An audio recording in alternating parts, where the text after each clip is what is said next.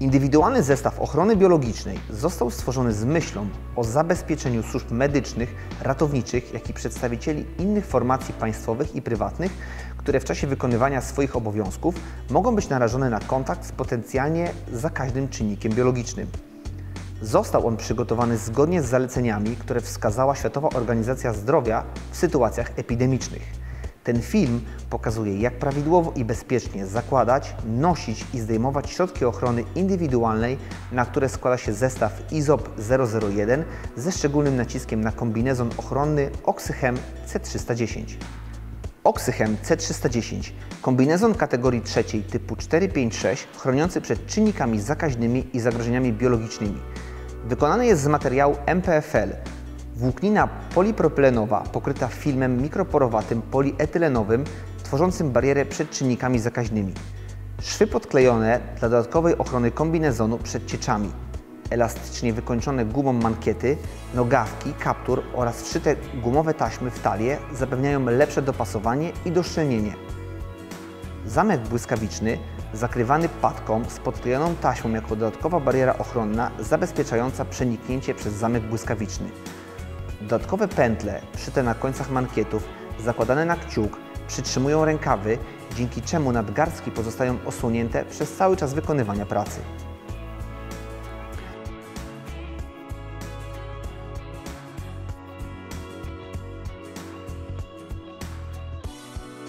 Zakładanie i zdejmowanie środków ochrony indywidualnej powinno być nadzorowane przez innego przeszkolonego pracownika zespołu. Po pierwsze, Przygotuj czystą strefę, w której będziesz zakładać swój indywidualny zestaw ochrony biologicznej. Wybierz obszar, który jest poza strefą zagrożenia. Tutaj będziesz przechowywać przedmioty, które wspomogą we wszystkich czynnościach. Zapoznaj się z instrukcjami wszystkich produktów z IZOP 001. Znajdziesz je w opakowaniu. Sprawdź, czy posiadasz komplet produktów opisanych na pudełku. Sprawdź, czy przypadkiem któryś z produktów nie został uszkodzony w transporcie lub czy nie ma wady fabrycznej. Przed rozpoczęciem zdejmij całą biżuterię, w tym zegarki i obrączki ślubne. Umyj i zdezynfekuj ręce. Twoje środki ochrony indywidualnej muszą być odpowiednio dopasowane i funkcjonalnie sprawne. Kolejność zakładania i dopasowania poszczególnych środków ochronnych jest istotna. Najpierw ochraniacze na obuwie, a następnie kombinezon jednorazowy. Po nich półmaska filtracyjna, ochrona oczu i rękawiczki nitrylowe. Usiądź Zdejmij obuwie tak, by swobodnie założyć nogawki kombinezonu. Pociągnij nogawki kombinezonu tak, by można było założyć buty, a na nie ochraniacze długie na obuwie. Podwiązując ochraniacze powyżej łydki, sprawdź, czy są one pewnie umiejscowione, czy się nie zsuwają, a jednocześnie nie redukują Twojego komfortu i swobody ruchów. Podczas zakładania jednorazowych ochraniaczy obuwia, twarda powierzchnia pokrowców powinna znajdować się pod podeszwą butów. Następnie nasuwasz nogawki kombinezonu na nakładki, naciągając je maksymalnie w dół. Zakładając jednorazowy kombinezon, uważaj, aby nie podrzeć tkaniny i upewnij się, że zamek jest podciągnięty. Nie zakładaj jeszcze kaptura. Półmaski filtracyjne dopasowujemy zawsze do zagrożeń. Nie należy ich nosić, gdy masz brodę, wąsy lub zarost. Kluczowe jest bowiem właściwe przyleganie krawędzi półmaski do twarzy. Dopasuj zacisk nosowy.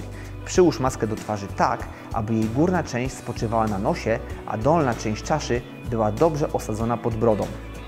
Przełóż taśmy za głowę, układając tak, by leżały płasko, nie były skręcone i zapewniły Ci stabilne położenie półmaski na twarzy. Dociśnij dwoma palcami zacisk nosowy, następnie sprawdź na sobie szczelność dopasowania. W tym celu zakryj przód półmaski obiema rękoma, następnie zrób gwałtowny wdech przez maskę. Jeśli czujesz przeciek powietrza wokół nosa lub pod krawędziami półmaski, powtórnie spróbuj uformować zacisk nosowy. Popraw ułożenie na twarzy półmaski i wyreguluj ją gumkami.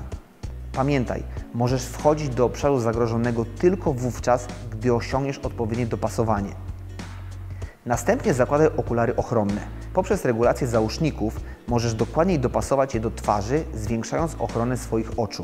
Załóż kaptur tak, by maksymalnie zakrywał Twoją głowę i by niewidoczne były Twoje włosy na głowie. Zapnij zamek kombinezonu do końca.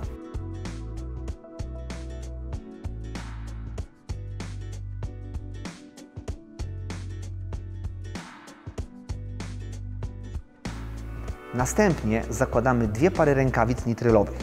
Pierwsza para rękawic ma być wewnątrz pod mankietem kombinezonu. Po ich założeniu nałóż pętlę w mankiecie na kciuk, dzięki czemu rękawy będą stale na nadgarstkach. Drugą wierzchnią parę rękawic nitrylowych, zewnętrzną, załóż tak, by częściowo nachodziła na mankiety kombinezonu. Sprawdź, czy kombinezon nie krępuje ruchów i czy podczas wykonywania skrajnych czynności ruchowych nie odsłaniasz jakiejś części ciała. W tym celu wykonaj przysiad, a następnie przyklęknięcie na jedno kolano z wyciągnięciem ręki nad głowę. Powtórz to na drugiej nodze. Gdy wykonując te ruchy, kombinezon układa się swobodnie i zakrywa odpowiednio części Twojego ciała, dobrany jest dobrze. Wszystko jest w porządku, więc odklej osłonę taśmy klejącej znajdującej się na wewnętrznej stronie padki kombinezonu i przyklej ją dokładnie, dociskając, by zabezpieczyć dodatkowo ekspres. Niech Twój przełożony lub kolega sprawdzi raz jeszcze, czy wszystko jest prawidłowo dopasowane. Rekomendujemy również założenie dodatkowo osłony twarzy. Teraz jesteś gotowy do pracy. Po wykonaniu zadania należy bezpiecznie zdjąć środki ochrony indywidualnej w odpowiedniej kolejności, aby zminimalizować ryzyko kontaktu z czynnikami szkodliwymi, które się na ich powierzchni mogą znajdować. Przejdź do strefy brudnej. Przygotuj worek na odpady medyczne, naszykuj szeroką taśmę klejącą i marker permanentny. Worek może być założony na obręczy lub przyklejony do ściany. Uwaga! Kolejność ma tu najważniejsze znaczenie. Prawidłowe wykonanie czynności minimalizuje potencjalne zakażenie krzyżowe. Zdejmij osłonę twarzy i wyrzuć ją do worka. Oderwij przyklejoną patkę ochraniającą ekspres i rozepnij ostrożnie zamek. Następnie zdejmij kaptur, wywijając go na zewnątrz i tak samo postępuj dalej z kombinezonem. Wywijając rękawy, zdejmij rękawice zewnętrzne, ściągnij je w ten sposób, by zostały w rękawach zwinięte.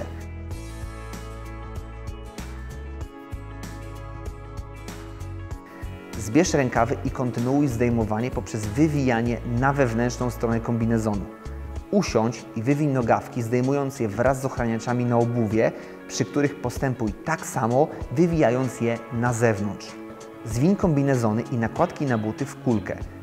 Zebraną całość wrzuć do worka na odpady.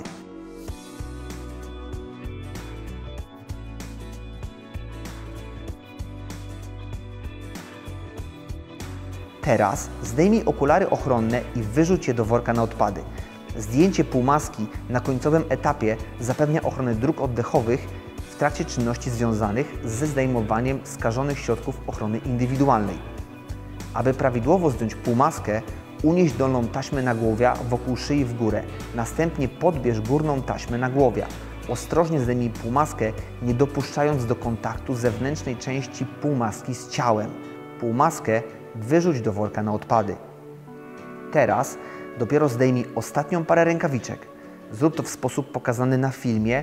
Zdejmij pierwszą, odwracając na lewą stronę, następnie to samo z drugą rękawicą i umieść obie w worku na odpady.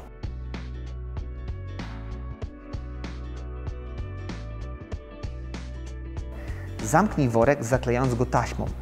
Podpisz w widoczny sposób mazakiem permanentnym zanieczyszczone sioi.